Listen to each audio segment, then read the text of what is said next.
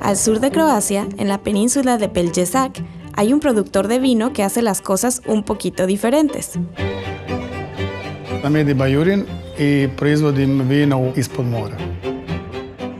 Así es, esta viña envejece sus vinos unos 20 metros bajo el agua. Tras crecer alrededor de muchos viñateros tradicionales, Eddie tuvo la idea de combinar dos de sus pasatiempos favoritos, el buceo y beber vino. Entonces decidió intentar envejecer vinos bajo el mar. Moja prvotna ideja je bio da stavimo vino u glinenu amforu i kao takvu polegnemo more. Para evitar cualquier filtración dentro de las antiguas tinajas, Eddie utiliza una botella para mantener el vino adentro y el agua salada afuera.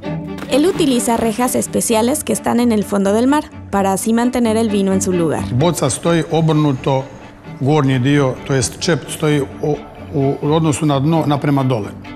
U rasponu od jednu i po do dvije godine i niko to ne dira. Ali u biti inače se preveravaju svako 15 dana se zaranja da se vidi što je i kako nastaje.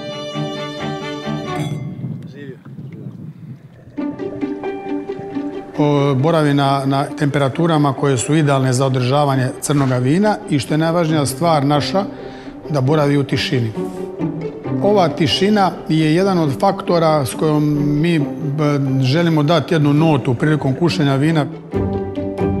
Y para Eddie, es el silencio lo que diferencia su especial vino submarino del resto. Zato što u svim e, podrumima tokom godine se radi, vazda se odmiču neki predmeti, vazda se nešto radi, vazda se nešto odmiče, promiče. Svi ti zvukovi koji se događaju u podrumima sigurno utječu, jer to je jedan živi organizam, utječu na, na, na vino.